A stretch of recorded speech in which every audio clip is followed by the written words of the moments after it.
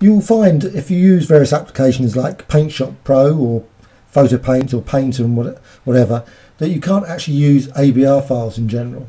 You can use them in GIMP and uh, Post Workshop Pro, but uh, this one, uh, just a quick tutorial to show you how to convert Photoshop brush ABR file into a file format that can be used in those applications. So just going to go, you can actually find lots and lots of brushes as well as lots of hints and tips on graphicxtras.com. You can find a brushes section on there, most of the sections on the site.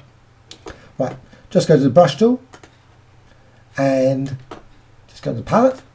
So you've got brushes here, all the various brushes in, this is a faces design set.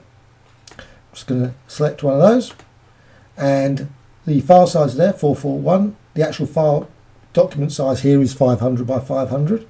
Now you might want to make it a bit less, like 400 by 400. Some versions of PSP can't actually load that uh, size of file. Right, so I'm just going to click there, and that's the brushstroke saved. Now, of course, you could actually, if you wish, make more complicated brushstrokes and that. You don't have to actually use that. You could resize that, maybe make multiple brushes and create that as a PNG file. You could do that as well as just this. So now save as, and use test, save as, okay. Now I've used black, but you could of course use any sort of grayscale, so you could actually have it slightly, you know, obviously less than that, or maybe blur the uh, design. There's numerous ways you can do and create different brushes.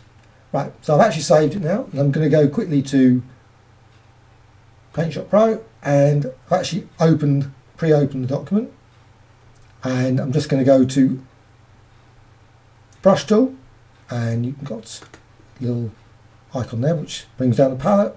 And there's a little icon here which you can actually create brush tip from selection. So I'm just going to quickly do that.